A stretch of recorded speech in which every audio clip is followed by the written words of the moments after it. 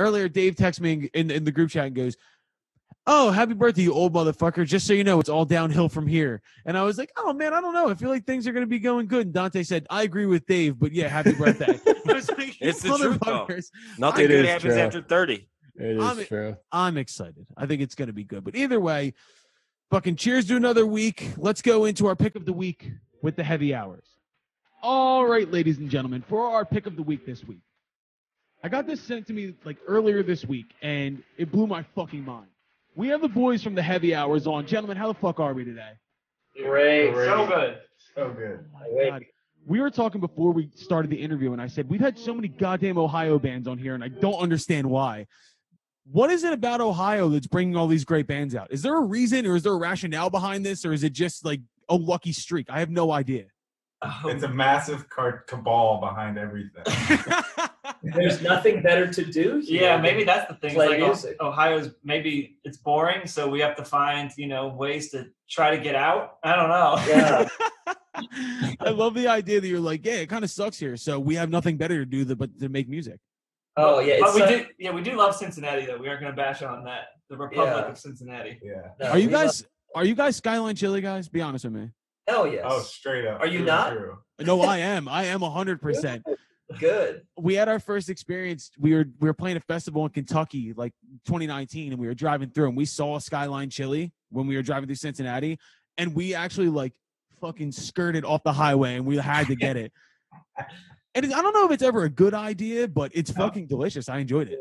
It's Yeah. a terrible So, idea. I actually had a revelation today about Skyline Chili. I was eating both Skyline Chili and uh, Indian food, chicken tikka masala, and I think. I think I think the both are very similar in flavor profile. Actually, I think they both do something similar to your stomach as well. Yes, maybe that's it. Yeah, yeah. We're gonna be in the middle of the interview, and he's gonna be talking. He's gonna be like, "Yeah," and honestly, the record was. All right, I'll be right back. so, all right, so we we we've we've gotten the jokes out, but uh, you guys have a new EP called Wildfire out. You guys just basically started putting music out this year. How the fuck did this come about? Uh, how did we start putting? Uh, I don't know. I mean, we recorded we recorded these songs not too long ago. When like twenty, I guess right before the pandemic got 2020, bad, 2019. and uh, yeah, that's sort of effed up our release schedule. So uh, we've just been sort of flying by the seat of our pants uh, up until now, and it's I think it's time to start getting music out. We got this EP out. There's an album coming out in uh, January that we're stoked about. We're just kind of ready to get this music out. I mean, personally, the one thing I really took away from the EP was it's refreshing to hear a bunch of dudes not trying to be anybody else. Because we're really in this fucking landscape right now where we talk about it on the podcast all the time. It always it sounds like there's like a I don't know, like a focus group behind everything that everybody does. And what I what I really liked about the EP and especially the song Don't Walk Away that we're gonna play, I was like, it doesn't feel like there's anything being forced here. It just feels great. I mean, and I, Yeah. in everything that I've done research leading up to this, you guys work with some fucking heavy hitters to make this record. Who was behind this? Who'd you guys write with? Who'd you work with? Go ahead and drop some names. Let's go. Oh man. Both, yeah, and you saying there's a focus group behind it. There definitely wasn't a focus group behind our record, but there definitely was a cast of the craziest characters. You know, a focus group might have been a little, uh, a little more tame. But number one, Dan Auerbach was uh, we co-wrote with him. Um, you guys want to speak to any Yeah, other? well, Dan, we co-wrote with Dan, but Dan would bring in some of his friends, which his friends are like 95 year old dudes who played on like Elvis records. Yeah. And Did so you did you guys cut this in the Nashville studio down there? We didn't, but we, we we hung out with him and wrote in the Nashville studio. And so we were there for like a week, just hanging out in that studio every day, and it was a wild place. It was crazy. Dude, I love watching the behind the scenes videos from there. Like I know Rolling Stone did a little behind the scenes of Dan Yeah. Auerbach's Nashville studio, and it literally looks like an old VFW hall with like the characters that walk in. It's just Yeah. like, eh, but they're great session musicians. You can't beat that. Yeah, Yeah. they're Yeah. Un- unbelievable musicians. And there's like a random like 14 year old there named Mickey who like is great at saxophone or something. He's like a prodigy or something. Like Uh, Dan's growing him in a lab. yeah. Yeah, I was just gonna say, like, I don't think you go to a Dan Auerbach related studio and don't expect some weird shit to happen. but what came out of it was amazing. So you had Dan Auerbach. Who else did you guys work with? Um, and then after Dan, we got to meet and became really awesome friends with who ended up becoming our producer. That was Simon Felice and David Baron. And Simon was in the Felice Brothers, who's the drummer, um, but he's also been the producer for the Lumineers past three or four albums. Um, he's worked with just a lot of really cool people up in Woodstock, New York, and so we got in on that uh, on that circle. And yeah, Simon's one of our one of our best. Simon is best guys crazy. now. We during the last recording session we had uh like one day we walked in, we thought we were gonna be recording our music and our two producers, Simon and David, they were like, Hey, real quick, can you guys lay down like a harmony and a guitar part for Shania Twain? We're like working on a single for her. And I don't know what ever happened to that, but like that was just, you know, an experience that I never thought we'd have walking into a studio. I don't know what happened with that. If someone asked me to do harmonies for Shania Twain, that's all I would think about all day, every day for the rest of my fucking life. Jesus.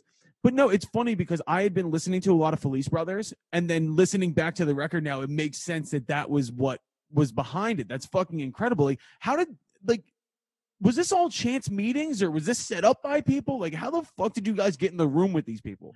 Dude, we we've asked ourselves that question a lot Yeah. too. It was a it was kind of like yeah, this weird chance thing. Me me and AJ and John, we had written some songs and you know had this like EP kind of like demos that we were sending around and um just hoping somebody would it would get in the lap of somebody important. And um we ended up getting hooked up with an agent and then after he was like, Yeah, I like this stuff, let me send it around. And he sent it around to people and they were like, Yeah, this is cool. And next thing you know, we're like getting lunch with Dan and driving up to Woodstock. So it just kind of really wa- happened organically. it really was just like our Dropbox of demos like bouncing around to random people and just phone call after phone call of like, hey, I like this shit. Like, can we meet up? And I think I think the coolest thing for you guys too is um, we had uh, David Basin, who is a big manager. He like found the Strokes. He was on the podcast last week, and he had he was talking about being a manager today. You have to find artists who kind of know who they are. Like like you have bands that are indie bands who for some reason want to be TikTok sensations. Then you have pop artists who want to tour, and it's like they don't fit. I feel like you guys have a very good grip on who you are, who you should be touring with, the songs you should be writing, and you just got off the road with fucking Galactic. Like Yeah. what, what was that to, to tour with maybe one of the best live bands on earth? Like, what was that run with Galactic like? Oh, They were like our road parents. They like took us oh. in and like, I, like they were seriously some of the nicest human beings we've ever met. We hung out with them every show afterwards, and they just like legitimately will have a bond with them for the rest of our lives. Yeah, and- Yeah. And, I think the cool thing about them, or like the thing that we tried to do as a band, was like just try to be, you know, sponges and just like soak up everything we can, you know, every piece of nugget of information and and just thing we can learn on stage from them. And like there wasn't a better band in the world to to try to like learn from than these guys that have are actual like masters at their instruments and masters at live performance and like like Stanton Moore might be one of the best drummers like of, I of was our- just gonna ask you guys which one of you is the drummer. Which one of you guys plays drums? Our drummer is in Nashville right now. He's not with us right now. Okay, Uh, well, e- either way, he must have just sat there the entire time, just Oh. staring. They were they were texting like constantly, all the time. they were like- having a they formed a relationship, man. It was awesome. Oh my god, Jesus Christ! Well, also, I this is like an off, like it has nothing to do with you guys, but who was the guest vocalist on the road with Uh, Galactic? we're gonna say uh, Anjelika Jelly Joseph, Ooh. uh, Jelly, and she uh, she was so cool. She was so chill, so down to earth, um, and she would hang out with us after every show. Uh, she is an amazing entertainer, and also a huge uh, part of our positive experience with them was their crew. Galactic has a crew that is just top notch, and they're just a well-oiled machine, you know, and that's something that I think we all looked at and we were like, damn, someday we want to be a well-oiled machine like that. Dude, there's no, there's nothing more jarring. Like two weeks ago, we got to open up for Jane's Addiction, The Offspring, and Cheap Trick.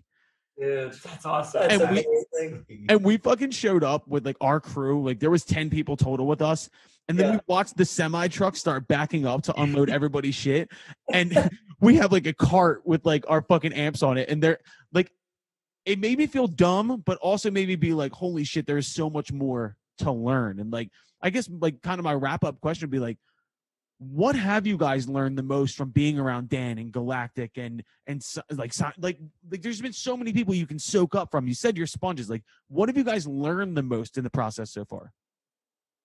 Hmm. One thing that I've noticed about Dan and about Simon and about, you know, the guys that we look up to in this industry is you really get a sense that they have like a mission and a goal that they feel and they are just, you know, they're not ruthless. They're not like, you know, chopping people's heads off, but they are just like going towards that goal with confidence. yeah, Yeah. and they are like they're gonna go there. They're gonna bring everybody with them. They're in it. They're just kind of like these weird, crazy, psychotic leaders who are also like funny and just I don't know. They're they're like true artists, man. Man, you just described the shit out of me. That's awesome, yeah.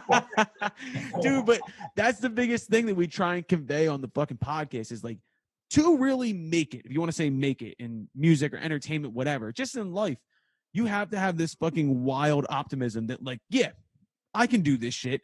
And I mean, like, being in rooms with people like that, like, you have to have that, or else you're never gonna make it. Like, you, you're never, and by make it, I mean, like, you're never gonna like get where you want to be. Like, that's Yeah, such a fucking great thing to take away from it. But I mean, you guys obviously like you've been on the road, you're putting out music. What is next? I guess you know we're gonna try to yeah get this album out in January and um yeah and just hop on more shows. You know, like shows are just starting now to kind of like have some rhythm and flow to like Yes. tour and stuff again. So we've been like you know hopping on a tour for a week and doing some one-off shows and like a couple weeks ago we got to do a, a one-off show with Nathaniel Rateliff in Chicago, which was awesome. What? Where was it? It was It's uh, Gallagher- Gallagher Way. Yeah, right outside of Wrigley. Dude, you sh- I wish I would have known that ahead of time because fucking White Sox Dave literally would have been there. Like, I, it was I'm a big show. It was Yeah. sold out. but just yeah, just trying to have some hop on more shows and honestly just play play more in 2022. Get some more spins. yo, eh, eh, dude. And how many people ask you guys on a regular basis, like, oh, when's the next time you guys are gonna be playing a show? And you just have to be like, nobody really knows what the fuck is going on. yeah. yeah. we we have shows that are booked for December that I'm literally getting stuff back from the agent of the person who we're opening for, being like, maybe, like we don't Yeah. we don't Yeah. know, like We have two dates in December that it's just like hold this. You know, that's all we know. You know. yeah. Uh, dude, either way, like I'm really impressed with how much you guys have gotten done in such a short amount of time. I don't know, man. Fucking future's bright. Not to mention, yo, I I just realized this. uh, You guys did WXPN's free at noon in Philadelphia. Yeah. Yeah.